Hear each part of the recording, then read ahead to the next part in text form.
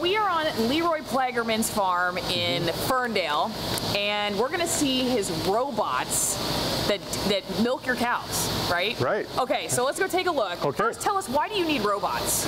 Well, there's a number of reasons that we decided to go with robots a year and a half ago. The main driver was, was over labor, the decreased labor demands that we had on the farm. How many people did you employ in order just to do this particular job? We had three full-time milkers and one part-time doing the job that our robots are now doing. How does the robot work? How the robot works is each cow wears a little collar under that identifies that specific cow. That tag keeps tells the computer what cow it is and it tracks all of its information throughout the day. And it'll know exactly when it was milked the last time and how much milk it gave. When that cow walks in the robot, the robot knows who that cow is and decides if it's time to milk her or not first of all.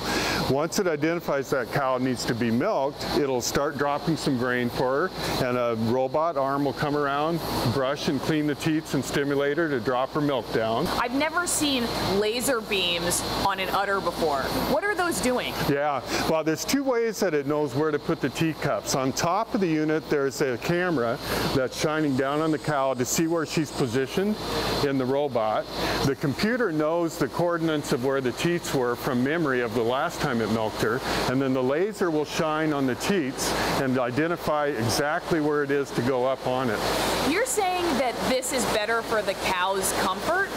It is. What's so nice about it is our cows are so relaxed now in this environment because we no longer have to chase them all out of their pen, away from their feed, away from their water, away from their stalls where they can lay down and, the, and put them through a parlor and have them come back.